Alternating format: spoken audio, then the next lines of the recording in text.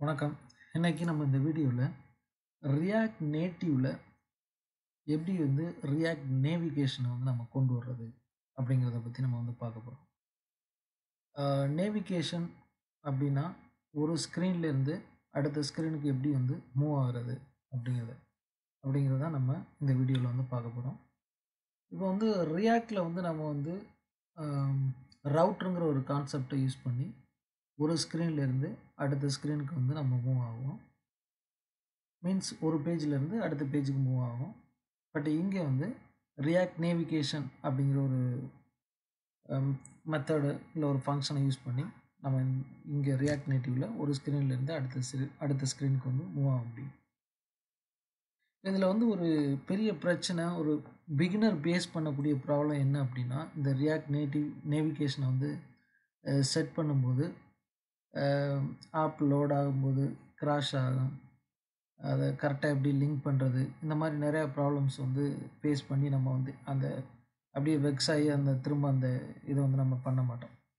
So இதை நான் வந்து ஃபேஸ் பண்ணியிருக்கேன். ஸோ இது இந்த மாதிரி உங்களுக்கு அந்த ப்ராப்ளம் வரக்கூடாது. ஸோ அதை எப்படி ஹேண்டில் பண்ணுறது அப்படிங்கிறத பற்றி நான் ரொம்ப தெளிவாக நான் இந்த வீடியோவில் உங்களுக்கு வந்து எக்ஸ்பிளைன் பண்ணுறேன் ஸோ ஃபஸ்ட்டு நம்ம வந்து ஒரு டெமோ பார்ப்போம். இப்போது இதில் ரைட் சைடில் என்னோடய ஆப் வந்து லோட் ஆகிருக்கு இதில் கோ டு டீட்டெயில் பேஜ் அதை கிளிக் பண்ணோன்னே டீட்டெயில் டீட்டெயில் ஸ்க்ரீனுக்கு போகுது. இதில் வந்து ரெண்டு ஸ்க்ரீன் இருக்குது ஒரு ஹோம் ஸ்க்ரீன் இருக்குது இன்னொன்று வந்து டீட்டெயில் ஸ்க்ரீனு ரெண்டு ஸ்க்ரீன் இருக்குது ஓகே இப்போது கோ டு டீட்டெயில் பேஜ் அப்படின்னோடனே அடுத்த ஸ்க்ரீனுக்கு போகுது. இப்போ இங்கே வந்து நம்ம வந்து ஒரு நாலு பட்டன் வச்சுருக்கோம். இந்த நாலு பட்டனில் கோ டு டீட்டெயில்ஸ் எகெயின் அப்படின்னா இந்த ஸ்க்ரீனுக்கே திரும்ப அது போகும். கோ டு பேக்னா இந்த ஸ்க்ரீனில் பின்னால் போகும். ஸோ இப்போ வந்து ஹோம் ஸ்க்ரீனுக்கு வந்துடுச்சு. நான் ஆல்ரெடி ஒரு தடவை டீட்டெயில் ஸ்க்ரீனில் இருந்துச்சு. ஸோ ஹோ டு ஹோம் ஹோம்னா டைரெக்டாக ஹோம் பேஜுக்கு வந்துடும் ஸோ எகெயின் நம்ம இந்த ஸ்க்ரீனுக்கு கிளிக் பண்ணிவிட்டு இப்போது நம்மக்கிட்ட ஒரு மல்டிப்புள் ஸ்க்ரீன் இருக்குது அப்படின்னா டைரெக்டாக அந்த ஃபஸ்ட்டு ஸ்க்ரீனுக்கு நம்மளால் போக முடியும். ஸோ அதை வந்து go to first screen in stack okay so இதை எப்படி கொண்டு வர்றது அப்படிங்கிறத பார்ப்போம். ஃபஸ்ட்டு நான் வந்து இதோட ஸ்டெப்ஸ் என்ன அப்படின்னு சொல்லிடுறேன். டாக்குமெண்டேஷன் ஃபாலோ பண்ணணும். டாக்குமெண்டேஷன் ஃபாலோ பண்ணால் தான் இதை நம்மளால் பண்ண முடியும். பட் அதோடய ஸ்டெப்ஸ் என்ன அப்படிங்கிறது நான் சிம்பிளாக உங்களுக்கு வந்து சொல்லிடுறேன். ஏன்னா இப்போ ஒரு டாக்குமெண்டேஷனை போயிட்டு கோ த்ரூ பண்ணி அதை கொண்டு வர்றது பிகினருக்கு வந்து ஒரு கஷ்டமாக இருக்கும். அதுக்கு முன்னால் ஒரு சின்ன ஒரு ஐடியா கிடச்சிச்சின்னா அதை வச்சு டாக்குமெண்டேஷனை வந்து ஈஸியாக ரெஃபர் பண்ண முடியும். என்னோட இந்த கண்டென்ட் வந்து பெரிய மாஸ்டர் பீஸ்லாம் கிடையாது. ஜஸ்ட் ஒரு ஸ்டார்ட் அப் ஒரு ஒரு கிக் ஸ்டார்ட் உங்களுக்கு ஒரு ஐடியா கிடைக்கும். அதை வச்சு நீங்கள் வந்து பெரிய லெவலில் வந்து இம்ப்ரூவ்மெண்ட் பண்ணிக்கலாம். ஓகே ஸோ அதான். ஸோ ஃபஸ்ட்டு நம்ம வந்து இப்போ நீங்கள் என்பிஎம் இல்லை யான்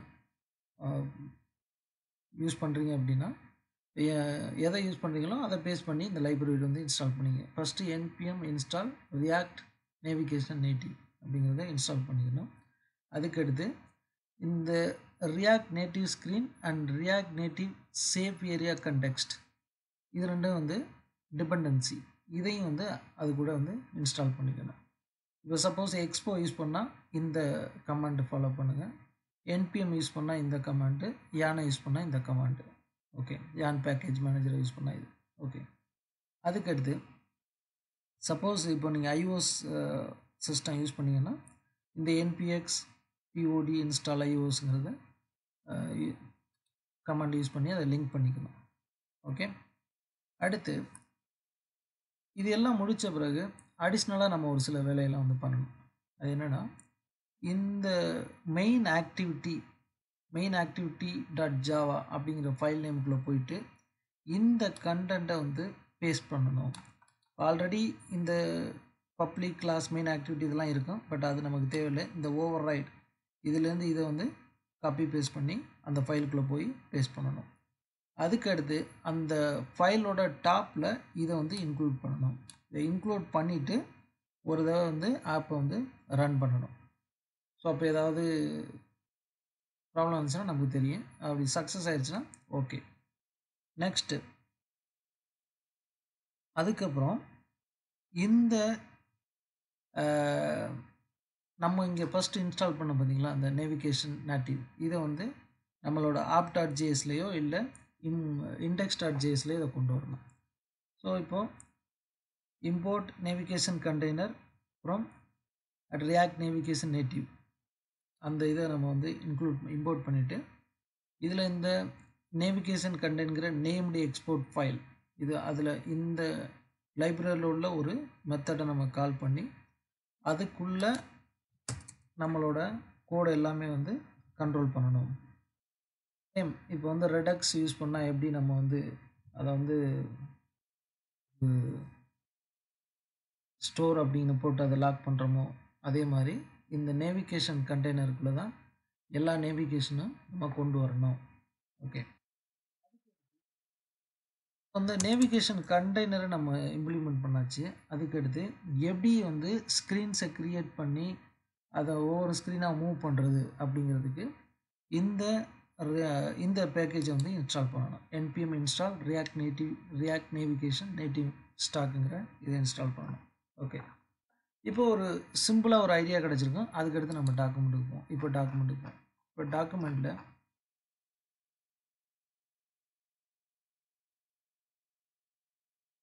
ரியாக்ட் நேவிகேஷன் டாக் இந்த டாக்கில் ரீட் டாக்ஸில் போயிட்டு கெட்டிங் ஸ்டார்டட் இதில் இந்த ஃப்ரீ ரெக்வஸ்டிஸ் என்னென்ன தேவை அப்படிங்கிறதெல்லாம் பார்த்து ரீட் பண்ணிக்கோங்க.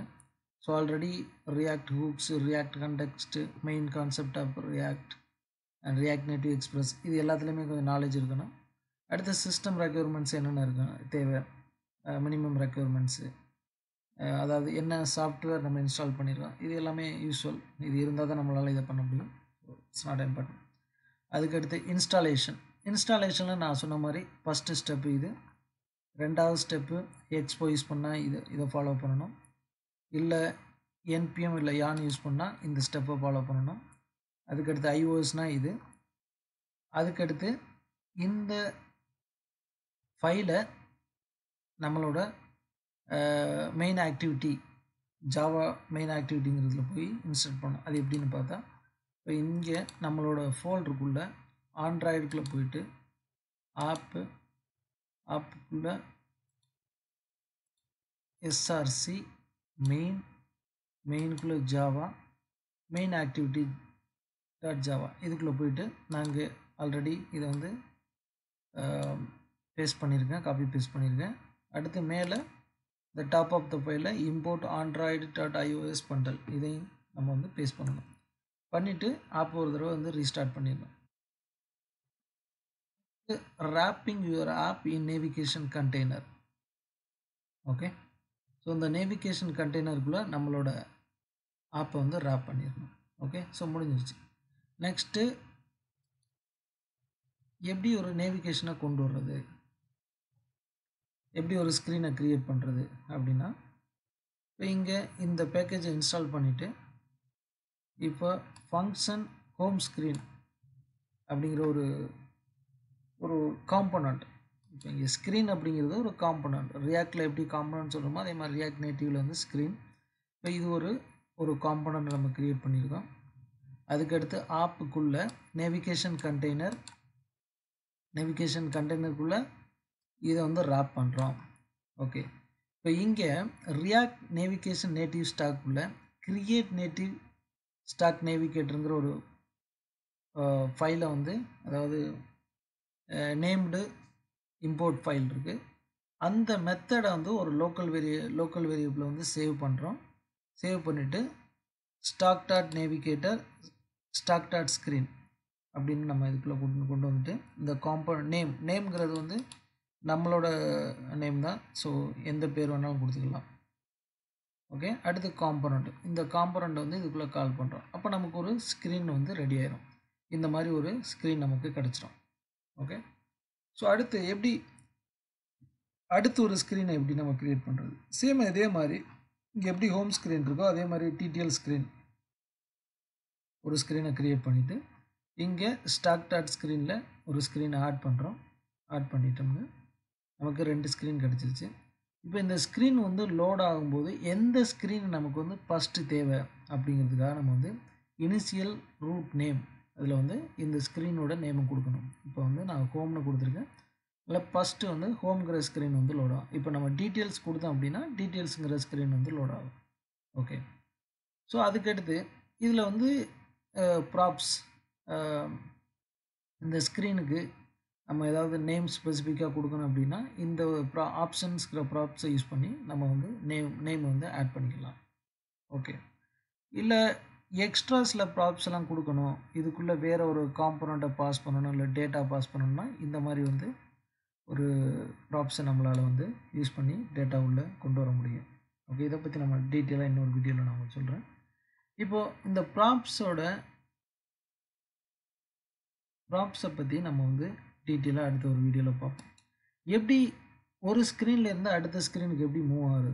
இதான் இப்போ இங்கே இம்பார்ட்டண்டான டாபிக் இந்த வீடியோட கான்செப்டே தான் இப்போ நம்ம வந்து ஹெச்டிஎம்எல்ல நார்மல் வெப் பேஜில் வந்து நம்ம வந்து ஏ டேக் யூஸ் பண்ணி ஒரு பேஜ்லேருந்து அடுத்து ஆங்கர் டேக் யூஸ் பண்ணி ஒரு பேஜ்லேருந்து அடுத்து அடுத்த பேஜுக்கு வந்து நேவிகேட் ஆகும்.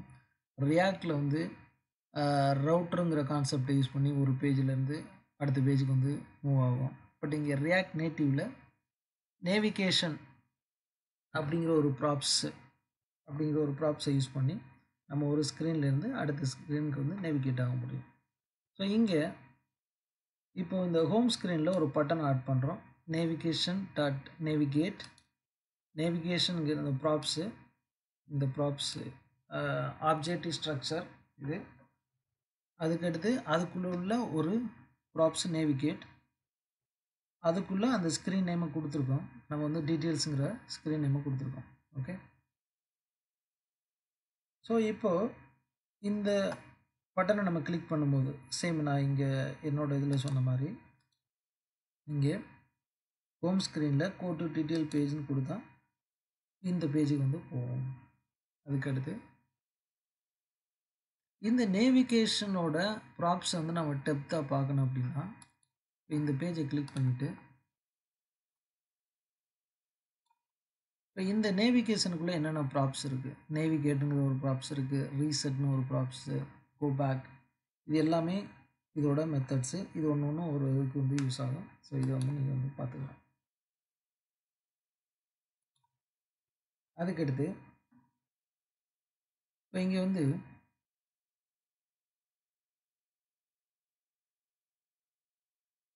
ஹோம்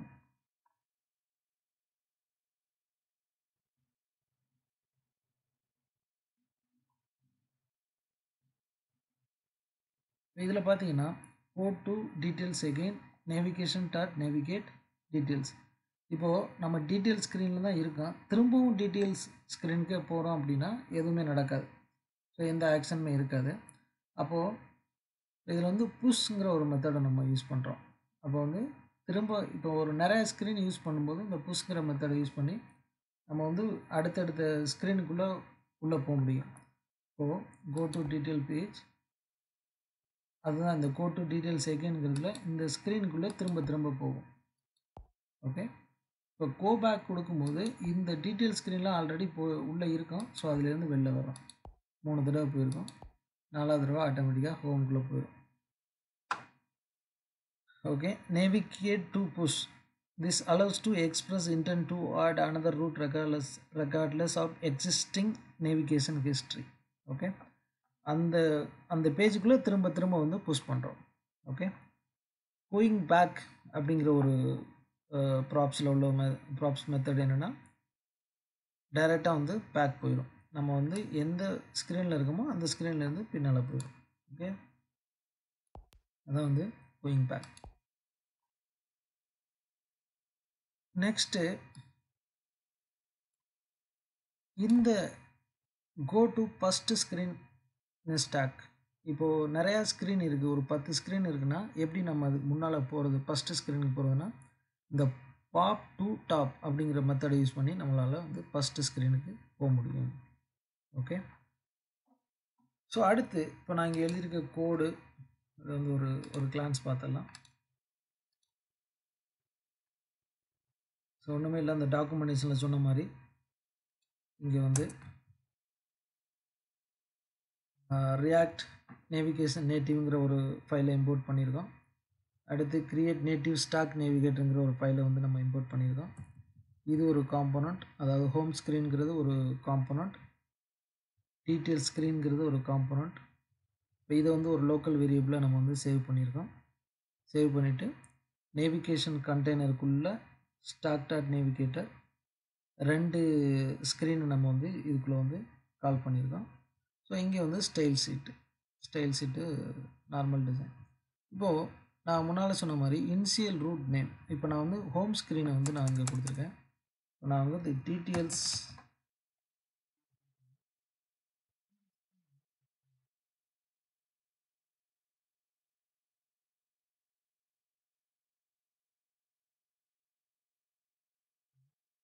லோட் ஆகும்போது டீட்டெயில் ஸ்க்ரீன் வந்து லோட் ஆகுது. ஸோ இதான். ஸோ இந்த வீடியோ கொஞ்சம் லென்த்தாக இருக்கும். பட்டு என்னோடய கண்டென்ட்டை வந்து நான் ஷேர் பண்ணணும் அப்படின்னா கொஞ்சம் லென்த்தாக தான் இருக்கும் வீடியோ ஸோ தேங்க்யூ ஃபார் வாட்சிங் ஐ திங்க் இந்த வீடியோ உங்களுக்கு யூஸ்ஃபுல்லாக இருக்கும்னு நினைக்கிறேன்.